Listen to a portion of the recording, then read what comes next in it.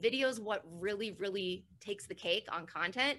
And selfie style video is outperform it's like crushing highly produced video right now. So it's like if you're able to point a phone at your face and talk about something for a couple of minutes you are already ahead of the game. Like it's no longer this game of everything needs a video producer and like super crazy graphics and intro logo in like ins and outs and stuff like that. You can get away with really simple video because people feel like it's kind of a window into you as a person, as a human, as opposed to a brand. So, and don't get me wrong, there's always a time and a place for highly produced video. I, I my background is videography, so I don't want to like put that out there.